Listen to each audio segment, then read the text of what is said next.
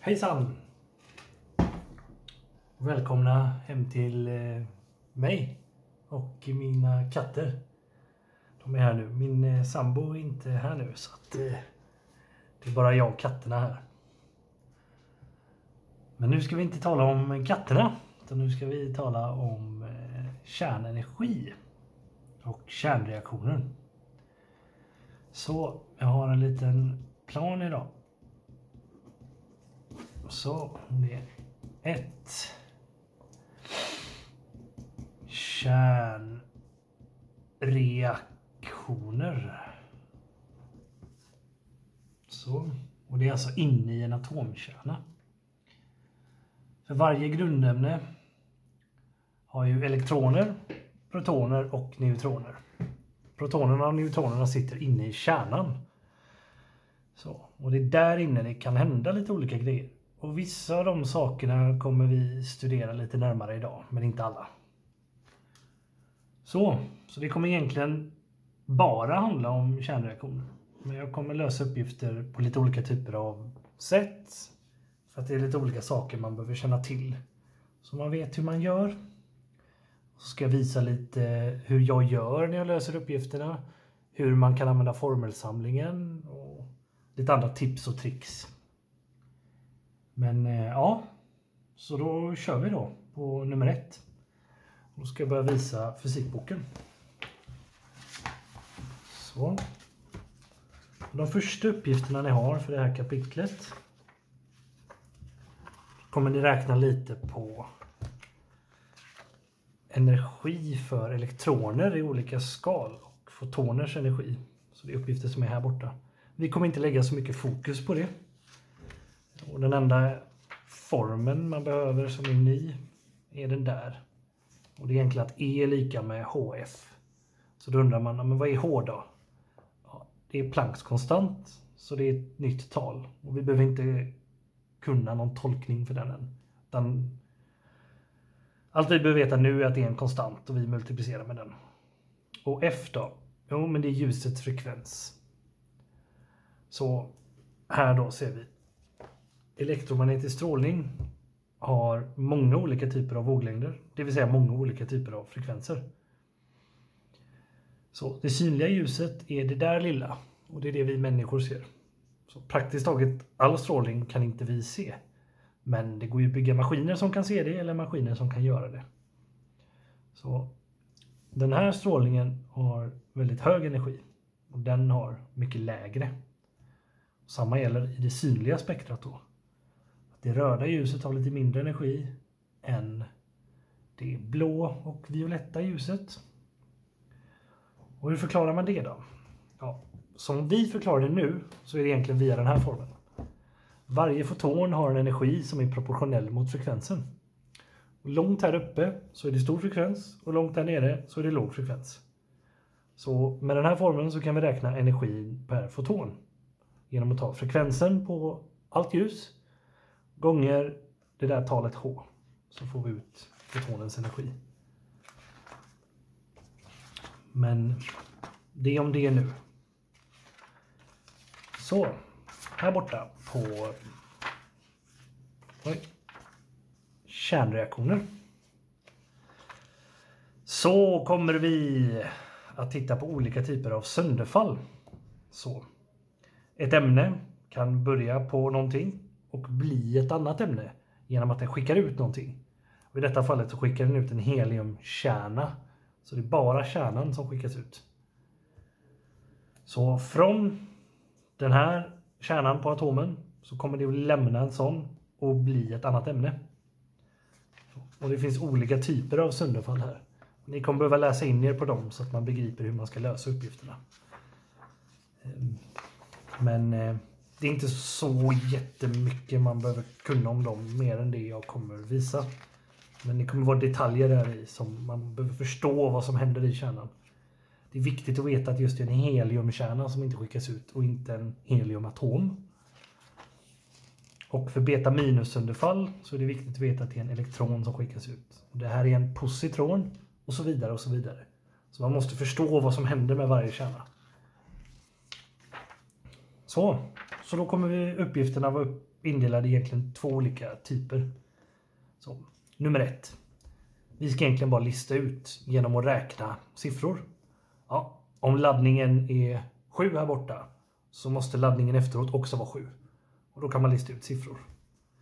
Sen kommer det också vara en annan typ av uppgifter. Då man vet lite mer om vad som händer här innan men har ingen aning om hur mycket energi som frigörs. Då får man räkna ut den. Och det sistnämnda nu att räkna ut energin är lite svårare. Så vi kommer börja med den varianten som är viktigast men lite lättare. Så. Så ja. Då tänker jag att vi gör 11, 15 B och C tillsammans. Så jag börjar då med 11, 15 B. 11, 15 B. Då ska jag fullfölja de här kärnreaktionerna. Så då börjar jag egentligen bara med att skriva upp. Jag kopierar det som står här. Då står det KR. Och det står 79 och 36. 79 och 36. Ja, och det kommer hända något med den. Det kommer bli någonting och då ritar vi en sån pil. Ja, och vi vet inte vad som ska vara ifyllt här i början. Så jag lämnar den tom. Men det här E då, det är en elektron. Eller en positron till och med. För den har laddningen plus 1. Så det är antipartikeln till elektronen. Och den har talet 0 där uppe. Så ska vi gå in på vad det här talet är. Den biten, 79, det är det vi kallar masstalet. Så som vi ska förstå det nu så är det summan av protoner och neutroner i en kärna. Och det som är där nere är laddningen. Så här är laddningen 36 och där är laddningen 1. Så då kan jag direkt lista ut genom att titta på laddningen så kan jag lite förstå vad som ska vara i de här tomma rutorna. Så skriver vi plus och så plus energi som man kommer att skriva med stora E. Så. Då ska vi lista ut vilka de här två partiklarna måste vara. När det är ett sånt här beta plus sönderfall som man kallar det. Skriver vi bokstaven beta är alltid jobbig att skriva. Jag är inte så bra på det. Något sånt kanske. Sönderfall. Sönderfall. Ja. skitsamma. Det är beta plus i alla fall så vet jag att det här kommer orsakas av den svaga kärnkraften. För att om vi tittar här, just det, där är det laddning 36 och här är det laddning 1. Då kommer det vara så att den här ämnet har någonting annat i sig. Eller så tänker man så här, men vem vet, det kanske blir både en elektron eller en positron och en elektron. Då kommer ju i sådana fall det ämnet som är här borta vara samma. Men då måste man förstå liksom, just det, det här är ett beta plus-underfall och vad händer när det sker och vad är det som orsakar detta? Ja, och det kommer vara den svaga kärnkraften och då kommer det att orsakas av en boson. Och så kommer det bli en neutrino här borta. Och de skriver man med något sånt här bokstaven ny. Ser ut som ett konstigt V ungefär. Så det är varken ett V eller ett R. Jag försöker skriva dem som något mitt emellan. Så blandar jag inte ihop det med något annat. Så, kommer vara en neutrino i alla fall. Den har inga protoner eller neutroner i sig. Och de är laddningslösa. Och det blir en vanlig neutrino, ingen antineutrino. Sen tittar vi på vilket ämne det här måste bli då. Så ni ser här, ja, där har vi 36 och där har vi 1. Så då måste det ju vara 35 här borta. Annars kommer inte laddningen bevaras. Så vad bra. Då har jag listat ut att det är 35. vad är det för ämne då? Och vad är ens KR för något? Kanske man inte vet. Så då behöver vi gå till formelsamlingen. Så. Här nu då. Börja på sida 19. Här ser man lite smått och gott som ni kommer behöva använda. Och så ska jag nu gå till plats 35. Och då ska jag leta på Z. För det är ju protontalet va? Egentligen laddningen då, men laddningen i kärnan. Ska vi se här. Och där ser vi, vad bra. KR på 36. Och då måste ju den andra vara 35 och det är väl bromid kanske. Jag vet inte. BR i alla fall. Inte Brasilien utan ett annat ämne.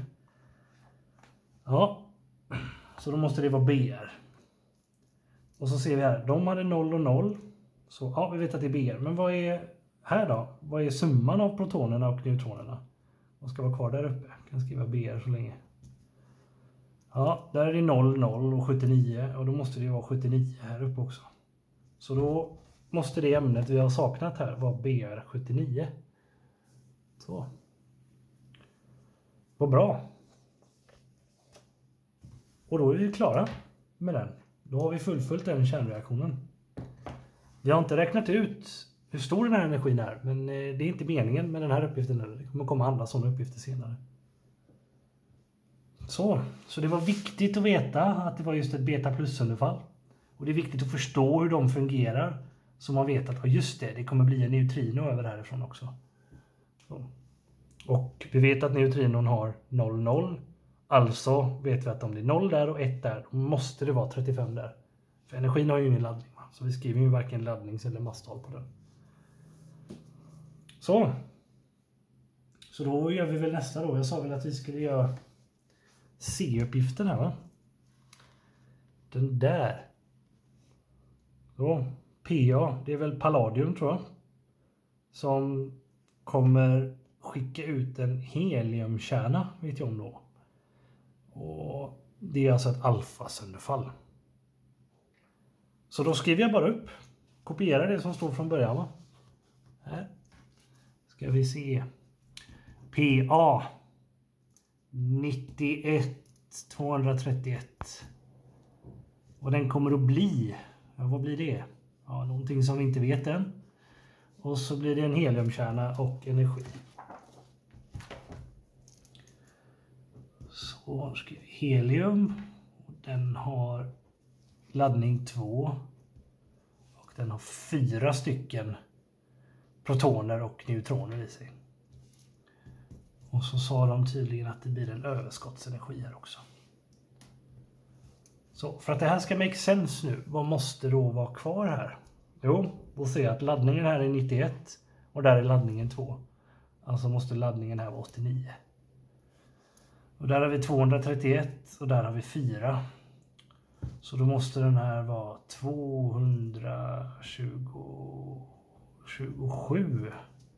För 227 plus 4 är ju 231.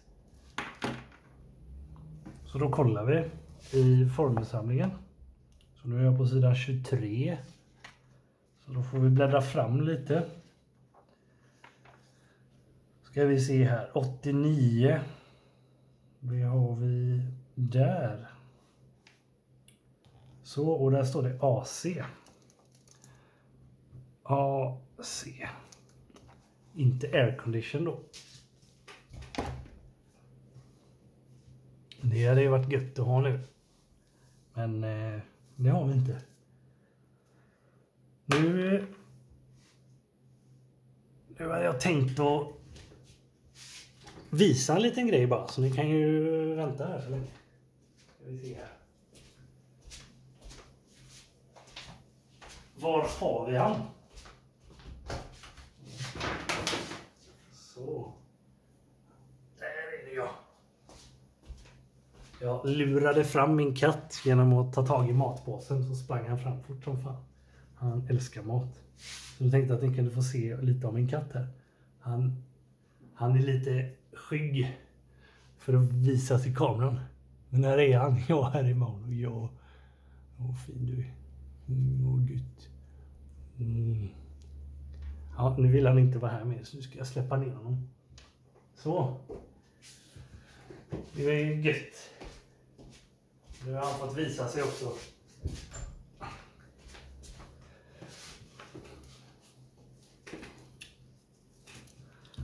Och det är en massa katthår på bordet också. Det var då själva fan. Ja. Vad var jag nu då? Jo, vi är ju klara nu va? Så den här biten var ju lite lättare för det var inga neutrinos och annat tjafs med. Men det här är typiska E-uppgifter. Att vi ska lista ut vilket ämne som är kvar av det vi inte vet, om vi vet vad det är för typ av sönderfall. Vi skulle även kunna hitta på en egen uppgift som är lite likadan genom att titta här i formelsamlingen. Så... Mm. Ska vi se här. Ska jag bläddra här lite så tar vi något bara och så ska vi se. Vad kan hända här då? Jo. Ska vi titta väl lite. Det är nästan bara beta överallt va? Ska vi se beta. Där har vi alfa. Och då tar vi där.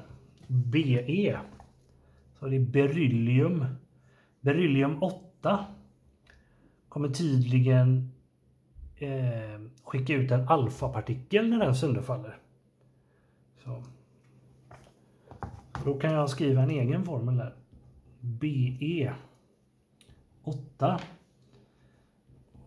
4 kommer att bli en heliumkärna för att den alfa sönderfaller. Och så måste det ju bli någonting kvar. Jo, vadå? Jo, det ska ju vara fyra kvar där uppe och två kvar där nere. Så. Så då blir det ju helium plus helium. Men den här biten. Det här är en helium isotop. Och den här biten stod då för alfa sönderfallet. Men spelar inte så stor roll den här uppgiften. Men ja, nu kunde man göra hitta på en egen sån reaktion. Sen blir det väl säkert någon energi här över också. Mm. Nu så ja, man kan ju vända blad här så sparar vi lite papper. Ska vi lösa en annan eh, uppgift där vi ska räkna med, med energi. Så. Så då ska jag bara plocka den också här från boken. Så då ska jag göra den biten med den här 1121. Så, och så ska jag visa hur jag gör när jag använder formelsamlingen och hur, hur man kan göra när man löser uppgifter. Men ni får se hur jag gör i alla fall. Plutonium 241 kan sönderfalla med både alfa och beta minus sönderfall. Skriv sönderfallsformel och beräkna sedan hur stor energi som frigörs vid respektive sönderfall. Det ska ju inte vara ett frågetecken där, så då stryker vi den. Så, en punkt ska det vara. Mm. Så då eh, kommer jag göra den här eh, beta minus sönderfallet då. Så vi börjar med den. Och om jag minns rätt så är det nog... Ja, vi, vi, vi gör den helt enkelt. Så, så då kommer vi behöva formelsamlingen. Mm, det kommer vara mycket användning av den nu. Så kollar vi. Plutonium. Var ligger den? Ja, det är ju där. PU är plutonium. Och där har vi plutonium 241. Ser vi där. Plutonium 241. Hur många protoner har den? Och 94 ser jag där. Fyller vi det. Vad kommer hända med den? Om den ska beta minusunderfalla. Den kommer alltså skicka ut en elektron. Så då skriver jag här en elektron. Den har masstalet 0 för den har inga protoner och inga neutroner i sig. Och den har laddningen minus 1. Så. Och eh, om man vill så kan man lägga till en neutrino här också. Eh, jag gör det. Så 0, 0. Den har varken neutroner eller protoner i sig och den har ingen laddning. Så neutrinon är 0. Ja. Och så kommer det bli ett annat ämne här. Som kommer ha masstal 241. Och så ser vi på vänsterled så har vi 94. Där. Och här har vi minus 1 totalt. Så då måste ju det som var här vara 95.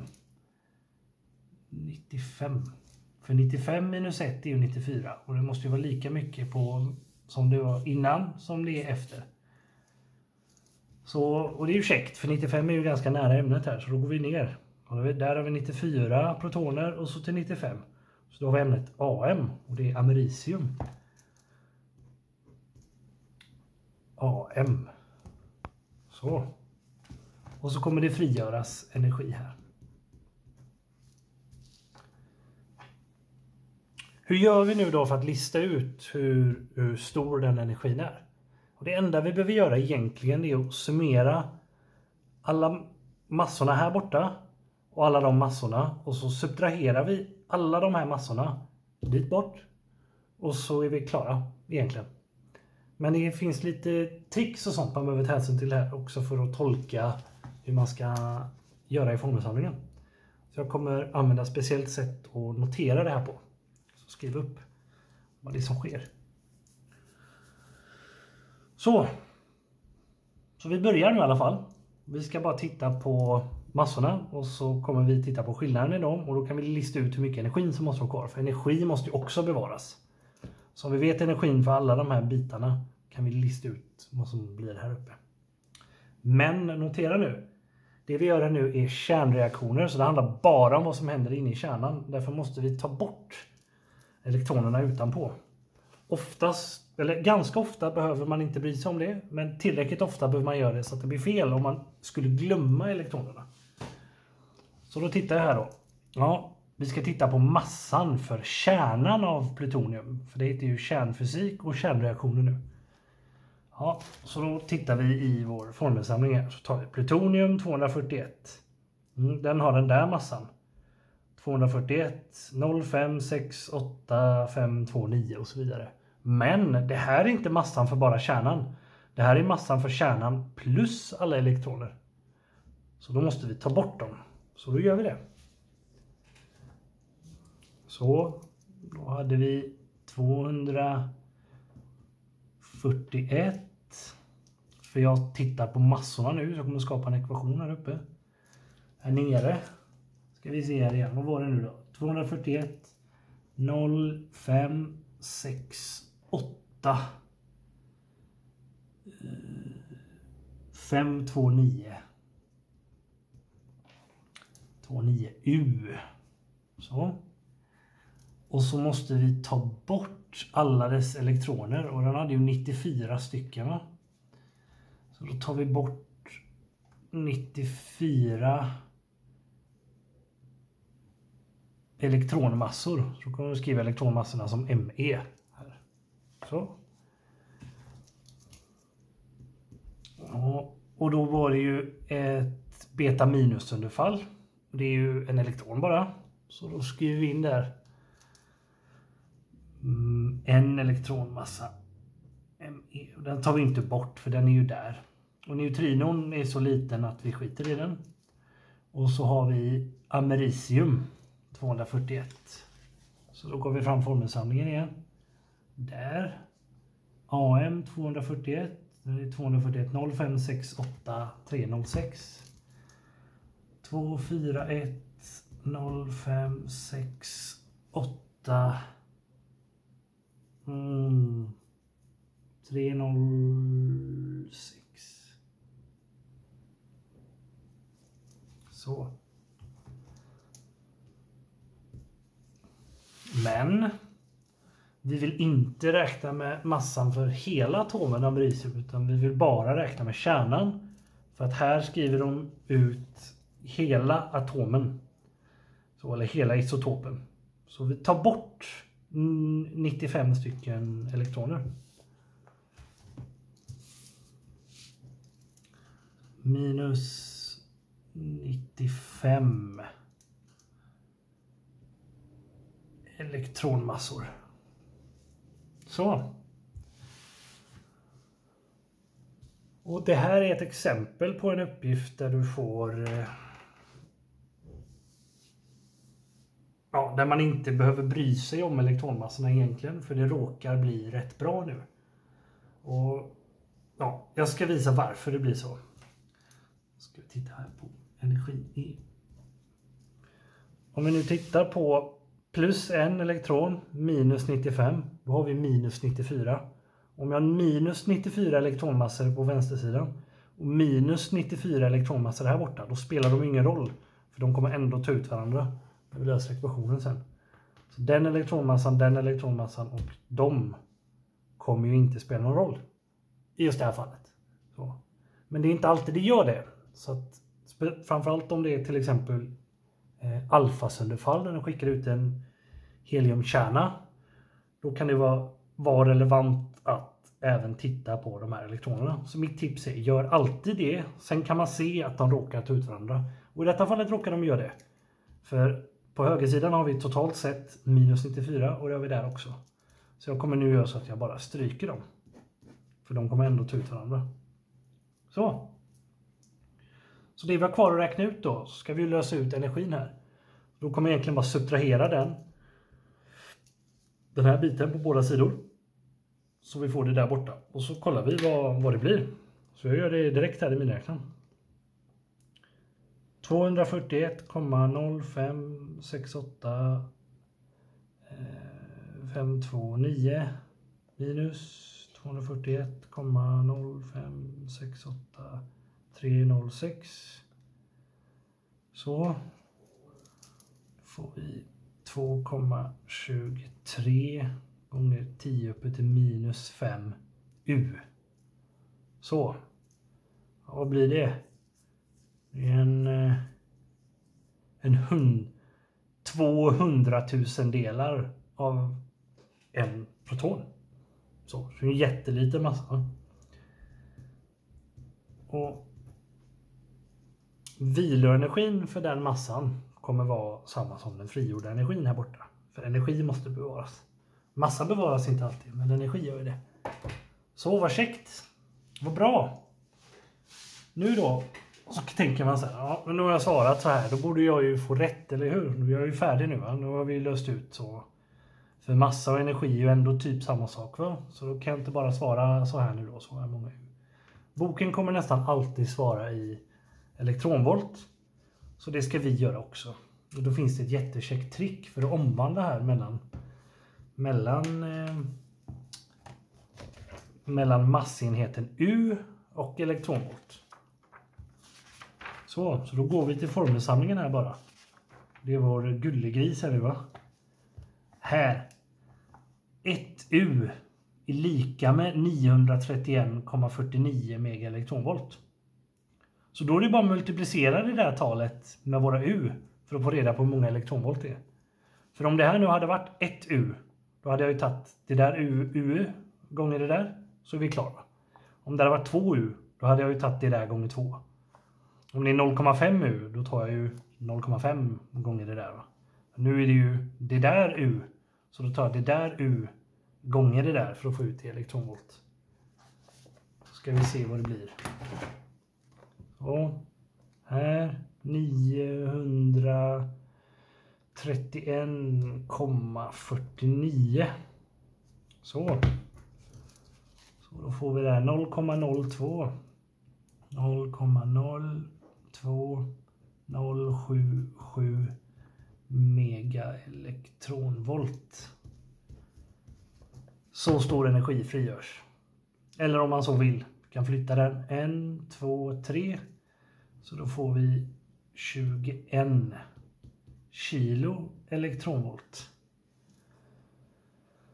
Och så har jag avrundat den till två värdesiffror nu då. Då blir det 21 för sjuan jag har. Så.